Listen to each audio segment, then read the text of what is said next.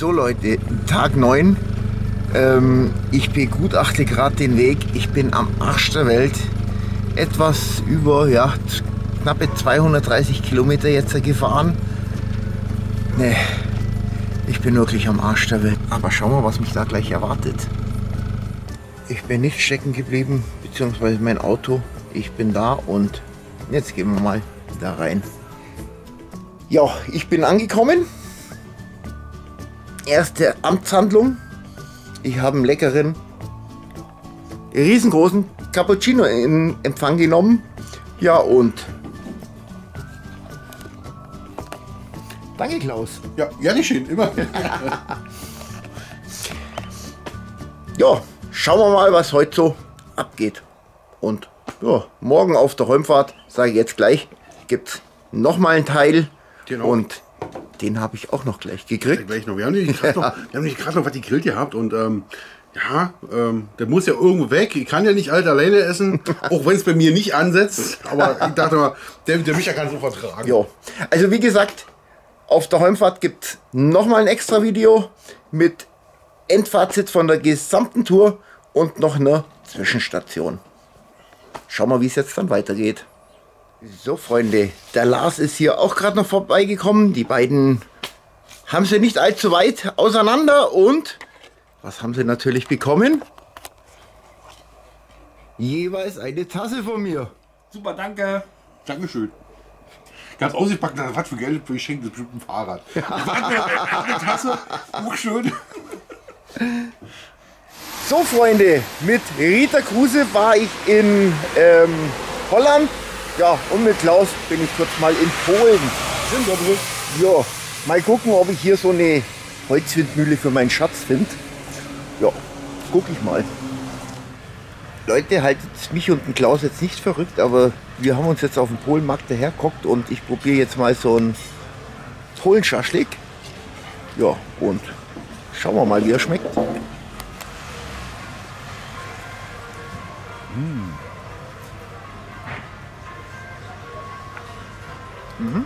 Also wir machen mal ein Spiel. Aber wenn wir schon mal dabei sind, äh, der Micha muss erraten, um welche Sorte Fleisch sich das handelt. Ich weiß es. Hm. Tipp, es ist keine Katze. Und? Nein.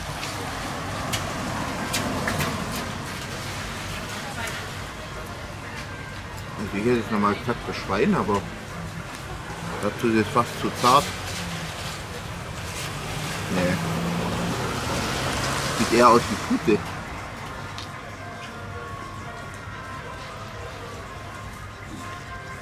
Keine Ahnung, sag und schock mich nicht. Also geschmacklich Schwein und von der Konsistenz eher Pute, oder? Ist Pute. Ja. Knüller. Geil. Kann man essen. Hier geht es mittlerweile mit Teamwork weiter. Der Lars macht hier auch mit.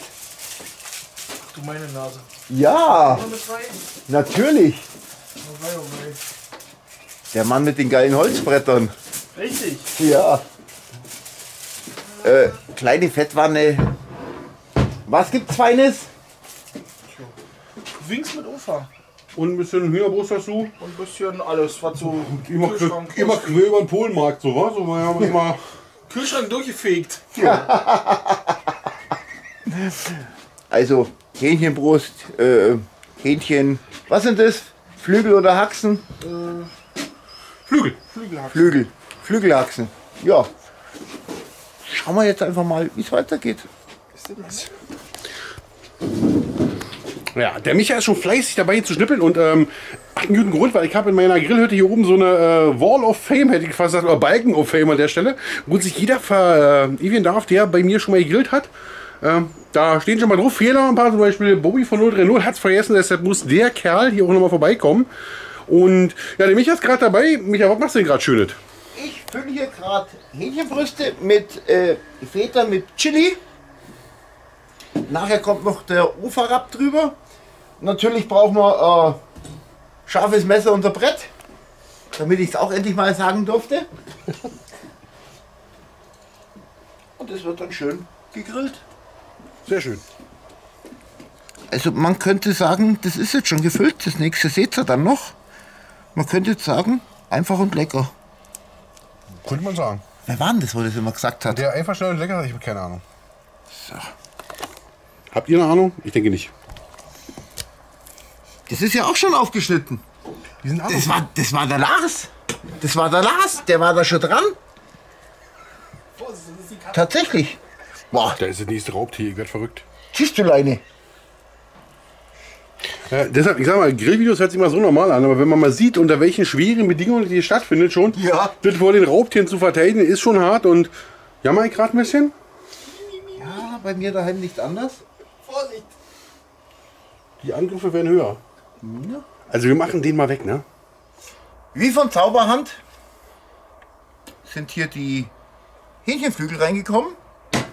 Und mit Würzen fangen wir jetzt mit denen an, weil das ist jetzt im Moment noch die sauberste Sache. Tüte leer. Aber wir haben ja noch ein bisschen. Dann streuen wir gleich die hier noch ein. Was ist denn da vorne auf dem das drauf? Also was der geil ist, ich musste ja mal ein bisschen klein machen. Guck mal hier. Das geil ist, äh, da ist dasselbe Logo drauf wie auf meinem T-Shirt. Ja, Zufälle gibt es im Leben. ja. Und hier wie auf Lars sein T-Shirt. Das ist ja unglaublich. Unglaublich. für mich als irgendwie erst verblüfft. So schön einreiben. Ich habe mir gerade vorher gedacht, ich werde eingerieben. Stattdessen nein, nur die Hühnerbrüste. Wer sagt das immer, Rab kommt von Reiben? Icke. Ja, das stimmt aber. Ja, einwappen, einrubbeln.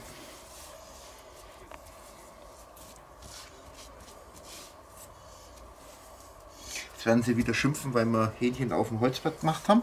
Wieso? Geflügel. Wieso? Weil sie da immer schimpfen, weil sie keine Ahnung haben. Da muss ich mich mal ganz kurz einschalten.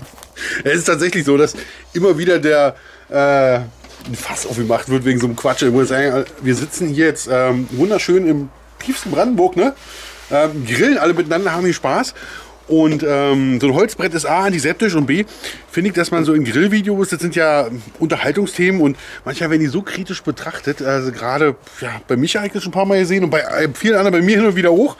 Äh, und ich sagen muss, was für ein himmelschreiender Blödsinn sich da teilweise zusammenreimen wird. Also Holzbretter ist eine so eine Nummer. Äh, sehr geil ist auch immer äh, mit gepökelten Dingen, die auf den Grill kommen. Ähm, oder ähm, irgendwas, was mit Bier oder so zu tun hat. Und das ist also ein himmelschreiender äh, Blödsinn. Ich kann nur eben sagen, grillt, habt Spaß dabei und ähm, habt keine Angst vor morgen. Äh, wir leben gerade in einem Zeitalter, wo jeder vor allem Angst hat. Das ist total Blödsinn. Und wenn wir jetzt beim Grillen alle Angst haben müssen vor irgendwelchen Quatsch, äh, hilft den Leuten, die Angst verbreiten wollen, aber nicht euch beim Grillen. Von deshalb hört nicht auf den Quatsch, lest euch so eine Kommentare nicht durch, das ist alles Bullshit. Äh, wichtig ist, dass man grillt, dass man Spaß hat und dass wir jetzt hier weiterkommen. Äh, Micha, machen wir das? Ja. Machen wir. So, äh, nach der kleinen Ansprache. Ja, ich habe dabei gewürzt, durchgeknetet. Und dann können wir sie ausschaffen, den Grill draufhauen. Wir sind soweit. Jetzt liegt die Wanne da hinten drin. Wie habt ihr euch das jetzt vorgestellt? Ähm, die, äh, wir dachten, dass die Flügel jetzt hier oben indirekt garen und die Fettwanne, also wenn man es alle so eine kleine Fettwanne bastelt, dass es nicht in den schönen Grill reinsifft, sondern auf der Fettwanne bleibt. Äh, Wollt ihr, äh, also ich hätte jetzt direkt erst einmal unten angegrillt. ähm, Ganz kurz. Oder ich kann die Hähnchen. also du bist jetzt sogar, wenn du die jetzt unten angrillst, dann grillst du jetzt hier vorne unten an. Ich kann sie auch direkt oben drauflegen. Wie ist es euch lieber? Von mir aus packst du nach oben. Dann packen wir sie nach oben. Also da ist natürlich beide Varianten richtig. Du kannst die unten angrillen und oben indirekt. Ähm, das ist wirklich eine reine Geschmacksfrage, wo man jetzt mehr Spaß dran hat. Ich glaube, du grillst die tatsächlich öfter mal an, ne? Ja. Ist beides richtig und nicht falsch. Und das ist das Schöne beim Grillen. Du kannst, wie gesagt, so viele, wie du möchtest. Und äh, so viele Wege führen zum leckeren Essen. Und ähm, ja, soll Spaß machen. Ich ich wiederhole mich gerade fast, bisschen. Bitte? Ich habe mir die Haare nicht mal gerade. Ey, wie sieht hier vor der Kamera aus? Schlimm. Ja, Lars, du hast gelacht, du stehst hinter der Kamera. Du siehst es nicht.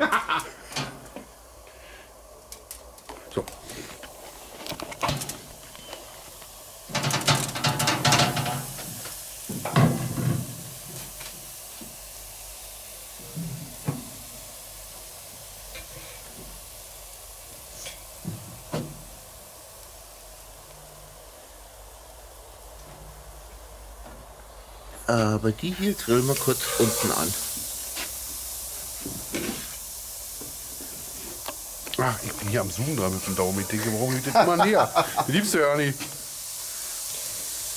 Tja Leute, äh, Bräuking habe ich noch nicht die ganz große Erfahrung mit dem Grill. Da wird mir der Klaus wahrscheinlich noch helfen dürfen, sagen dürfen, vorsprechen dürfen. Du bist relativ entspannt. Die Hitze kommt von hier unten irgendwo und geht nach oben. Also Ah. äh, beim direkten Angriff geworden, auf den Rost zu packen, war schon relativ gut. Man kann es auch oben auf der Haube, aber es dauert alles ein und.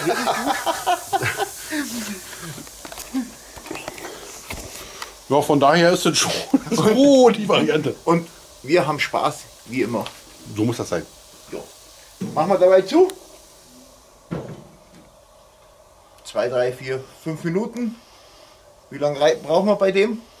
Ähm, Dass wir sie einmal drehen können. circa, circa, circa 94 Sekunden. Okay. Also ein Trick ist, ein Trick ist, wenn wir beim Grillen keine Zeiten haben, wir, kicken ja heute mal in die ins Nähkästchen. Also wenn du beim Grillen keine Zeiten und nicht an irgendwas halten willst, dann ist die, die alte Regel und zwar machst du einfach folgendes.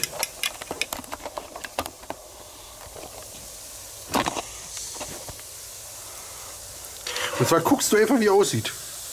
Und wenn es gut aussieht, dann ist es nur gut. Und ich finde, wenn man sagen kann, sieht das hier gut aus, dann muss ich sagen, na schon mal nicht so schlecht, aber kann noch im Moment. Und deshalb wissen wir ganz genau, dass wir auf guten Weg sind. Und vor allem, wenn der gut aussieht, musst du nicht jeden umdrehen, weil der wird, siehst du, ganz genauso aussehen. Was natürlich noch ganz wichtig ist, äh, außer einem scharfen Messer und ein Brett, ist natürlich immer sein Lieblingsgetränk. In den meisten Fällen bei euch glaube ich ja ein Bier, aber ihr kennt mich ja mittlerweile. Alles andere wäre jetzt auch eine Enttäuschung gewesen. Ja.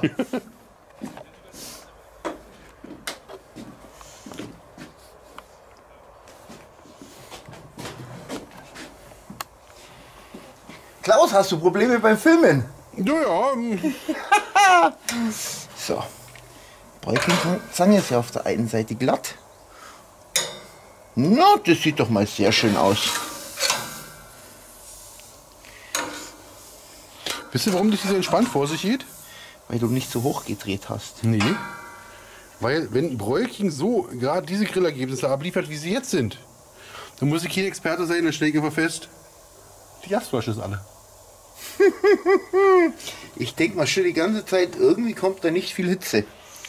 Ja, ich denke auch manchmal, warum viel raucht ja nicht. Ähm, tja, Momente passieren im Leben und dann wechseln wir mal rasch die Gasflasche. Ja, Ich hab vorhin noch gesagt. Die ist tief entleert. Ja also Pups, Pups leer. Und Leute, was der Klaus uns bis jetzt unterschlagen hat, er hat auch Feuerlöscher dastehen. Der hat euch noch mehr. Äh, Du hast uns noch mehr Nee, unterschlagen. ja. Was zum Beispiel? zum Beispiel, dass ich jetzt. Äh, Ja, ja, jetzt kannst du auspacken. schau mal hier. Dass ich gesagt habe, ich mache jetzt mal ein paar schöne Gasflaschen hin. Okay? Weil ich mich bei den normalen Gasflaschen ärgere, die sind unten aus Metall. Siehst du? Und guck mal hier in meine Autoküche drin. Siehst du da? Unten? Da sieht man schon einen Rost dran. Das ist doch ärgerlich wie Sau, oder? Ja. Und er gibt jetzt hier, ich habe jetzt hier die Grillmeisterflasche von Westfalengas und die hat einen Plasterrand drunter. Okay. Wie geil ist das denn, oder? Wie viel ist da drin? Äh, 8 Kilo. 8 Kilo. Oh, wird wohl reichen. Ja. Eine Weile. Bis sie leer ist. Ja, ein bisschen leer ist.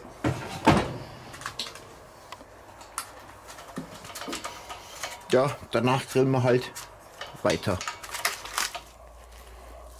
Leute, ich habe hier noch ein Lost Places gefunden. Hier unten. Da gehen wir jetzt einfach mal rein.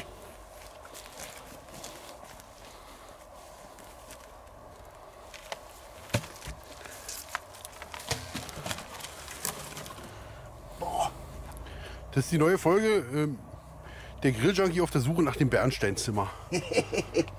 Muss ich mal gucken, wie man hier die Taschenlampe anmacht. Taschenlampe. Äh, Helligkeit 10%. 10% anwenden. Die leuchtet nicht.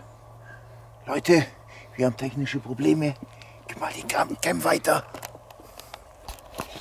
Die flüstern ja alle immer, wenn sie an so Lost Places sind. Also, wir haben hier einen ja, einen unterirdischen Bau gefunden. Leider kann man nicht viel erkennen. Aber vielleicht werden wir irgendwann noch mal mehr drüber erfahren. Mach mal wieder zu. Während wir gerade unterwegs waren zu den Lost Place, ja, hat der Lars hier die Grillwache gehabt. Und wir sehen, sie sehen schon wesentlich besser aus. Ja, nochmal von der Seite ganz kurz und dann können wir sie auch oben in den indirekten Bereich legen. Gibt ja Leute, die haben was gegen Grillen mit Gas, aber wir haben es gerade probiert ohne Gas. Und ich muss sagen, mit Gas grillen ist irgendwie viel besser. Bleibst du stehen?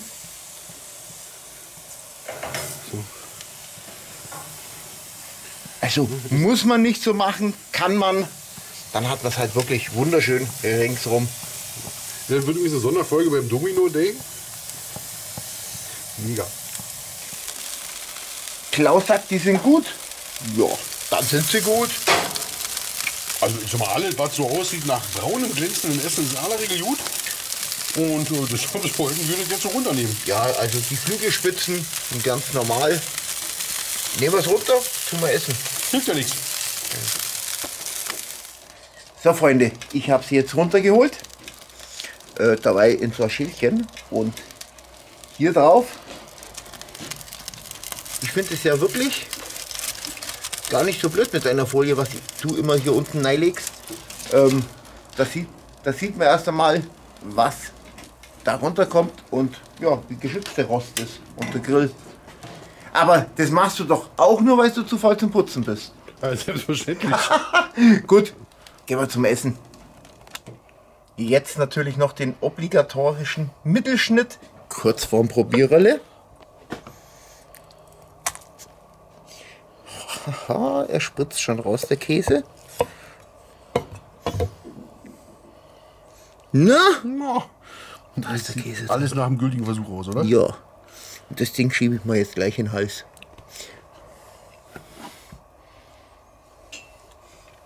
Um Klaus seine Worte zu verwenden, wenn ich schon da bin, rinn in die hohle Birne. Sag ich sowas? Ja, das sagst du immer. Und dann schmatzt du uns immer eins vor. Oh, ich kann, ich kann das synchron schmatzen, mal so. So ungefähr. Mm. Mhm. Ast rein. Mm. Mm. Aber halt wie immer. mm. Musste ja gelingen. Leute, wir sehen uns nachher noch mal kurz ein Fazit. Äh, Klaus, die wollen dich auch schmatzen sehen bei mir auf dem Kanal. Ähm, Was soll ich dazu sagen? Also mega. Mega guter Versuch. Wir haben jetzt noch ein bisschen jetzt Krause Goreng-Soße rüber gemacht. Eine kleine Krause Goreng-Soße, wie Die, ähm, hm, würde ich essen, wenn ich nicht hungrig wäre. Und ein drittes Fazit. Da kann man nicht so sagen, das ist einfach nur lecker.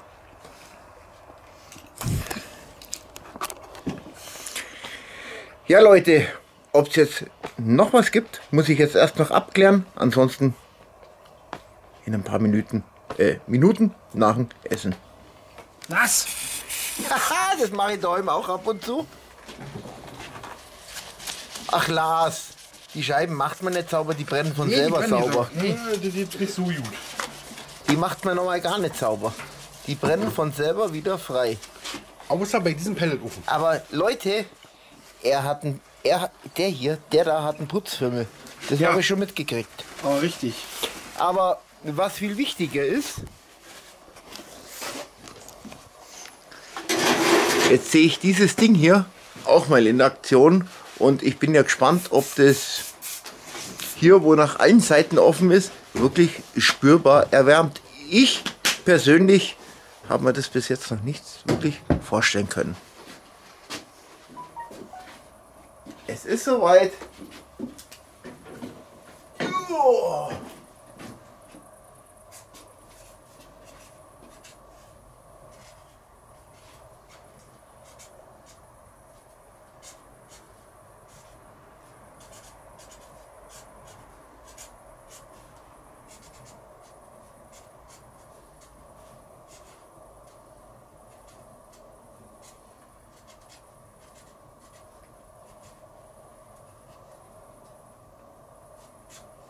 Schreibt gleich ein ganzes Buch ran. Natürlich. Weil er kann. So, jetzt muss ein Foto, hier, halt, Beweisfoto. Mit dem Finger drauf, mit dem Stift drauf halten, dass jeder sieht, du warst es. Pass auf, so. Mega. Dankeschön. Ja. Ha, geil, ich habe mich hier auch verewigt. Dann darf sich jeder übrigens äh, verewigen. Äh, die Geschichte dazu ist, habe ich schon erzählt, oder? Ja, wer hier Schön gegrillt hat. wieder. Ja, Später am Abend. gut. So, Freunde, kommen wir noch zum Fazit des heutigen Abends. Wie ich es am Anfang schon gesagt habe, eine sehr geile Location. Äh, Chicken Wings waren hervorragend. Ähm, die Brust mit dem Feta-Käse, mit dem Chili-Feta-Käse war hervorragend. Klaus, Mega. der, der Mann, was genauso am Handy spielt wie andere Leute. ich weiß nicht, was du meinst. Ah ja, okay.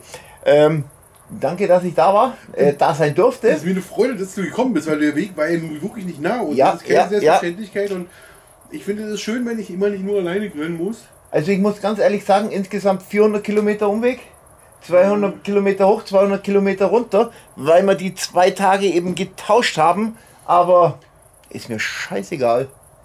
War mir eine Freude.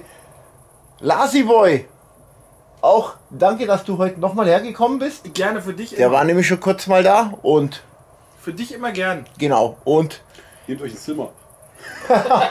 nee, so weit bin ich noch nicht. Ich habe meinen Schatz daheim. Ja, wo ich dann morgen wieder bin. Gut, Leute, das war's mit Den Tag. Schatz müssen wir übrigens auf ganz viele Grüße an der Stelle ausrichten und vielen vielen Dank an der Stelle, dass du den mich hier erst losgelassen. Und an der Stelle muss ich mit dir schimpfen, dass du nicht mitgekommen bist, weil das wäre natürlich noch besser gewesen. Ähm, weil er hier im Doppelpack aufgeschlagen hätte, aber ich denke mal, das kriegen wir früher oder später mal hin. Hoffe ich doch. Denke auch, oder? Ja. Gut, das war's mit Videotag 9.